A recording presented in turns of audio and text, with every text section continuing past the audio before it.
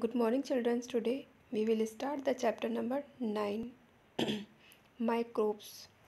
आज हम लोग पढ़ेंगे माइक्रोब्स के बारे में okay in this chapter we learn about the micro organism second number types of microbes third microbes and health हम लोग इन तीनों चीज़ों के बारे में पढ़ेंगे okay now let's begin Raghav says Rahim I have a I have a sore throat, cold और cough for the last few days. Rahim मेरे गले में कोल्ड मतलब सर्दी या कफ जम गया है। कुछ दिनों से मुझे खांसी आ रही है ओके कफ जमा हुआ है मेरे गले में। Rahim yes my mother yes my brother too had it last week हाँ मेरे भाई को भी लास्ट वीक हुआ था। Raghav says you know what causes this short throat cold और कफ क्या तुम्हें पता है कि ये जो गले में थ्रोट हो कफ होता है या फिर कोल्ड हो जाता है हमें वो किसकी वजह से होता है? Rahim says no Raghav. Raghav says well these are caused by micro organism present all around us अच्छा। अच्छा ये सारे क्या होते हैं? ये सारे इन्फेक्शन्स हमें हमारे चारों तरफ़ माइक्रो ऑर्गेनिज्म होते हैं छोटे छोटे कीटाणु होते हैं, जिसकी वजह से हमें ये इन्फेक्शन्स हो जाते हैं। Let us study more about them in this chapter अब इस चैप्टर में इसके बारे में पढ़ेंगे okay many tiny living things are present all around us बहुत से छोटे छोटे थिंग्स क्या होते हैं? बहुत सी छोटी छोटी चीज़ें हमारे चारों तरफ़ मौजूद रहती हैं। These tiny creatures live in air soil rocks water and even in the body of plants ये छोटे छोटे जो क्रिएचर्स होते हैं छोटी छोटी जो लिविंग बींग्स होती हैं, जो हमारे एयर में सॉइल में रॉक्स में और वाटर में मौजूद होती हैं, यहाँ तक कि हमारे बॉडी प्लांट्स में भी रहती हैं मतलब प्लांट्स की बॉडी में भी रहती हैं एनिमल्स में रहती हैं ह्यूमंस में रहती हैं, सब में मौजूद होती हैं।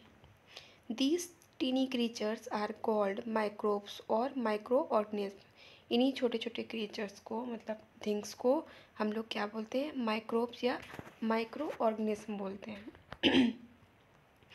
Okay now let us understand more about these microbes and how they affect us in our day to day lives. अब हम इसी माइक्रोब्स के बारे में पढ़ेंगे कि यह हमारे हमारी डेली लाइफ्स को कैसे इफ़ेक्ट करती हैं micro organism what is the micro organism micro organism क्या होते हैं? Micro organism are tiny creatures which we can not see with our naked eye micro organism इतने छोटे, इतनी छोटे होते हैं कि उन्हें हम अपनी नॉर्मल आँखों से नहीं देख सकते हैं। We can see we can only see them with the help of microscope हम उनको क्या कर सकते हैं? केवल माइक्रोस्कोप के ज़रिए से ही देख सकते हैं। वो इतने छोटे होते हैं कि हमें अपनी आइज़ से नहीं दिखाई देते हैं। इन्हें देखने के लिए हमें माइक्रोस्कोप का इस्तेमाल करना पड़ता है। There are many different types of micro organism present everywhere बहुत तरह के माइक्रो ऑर्गेनिज्म होते हैं जो कि हमारे चारों तरफ़ मौजूद रहते हैं प्रेजेंट रहते हैं। Some thrive in very hot places whereas other in very cold places कुछ बहुत गर्म जगह पे रहते हैं, कुछ बहुत ठंडी जगह पे रहते हैं। Some of them need oxygen to live कुछ को ऑक्सीजन जीवित रहने के लिए ऑक्सीजन की ज़रूरत होती है। Whereas others to not और जब, जबकि दूसरों को नहीं होती है। कुछ बिना ऑक्सीजन के नहीं रह सकते हैं और कुछ ऐसे ही रह लेते हैं। Some micro organism are harmful to us और कुछ माइक्रो ऑर्गेनिज्म ऐसे होते हैं जो कि हमारे लिए नुकसानदायक होते हैं। While others are very useful us और कुछ ऐसे होते हैं जो कि हमारे लिए बहुत यूज़फुल होते हैं, बहुत लाभदायक होते हैं। Some harmful microbes cause diseases कुछ जो हार्मफुल माइक्रोब्स होते हैं, उनकी वजह से हमें डिसीज़ हो जाती हैं, बीमारियाँ हो जाती हैं।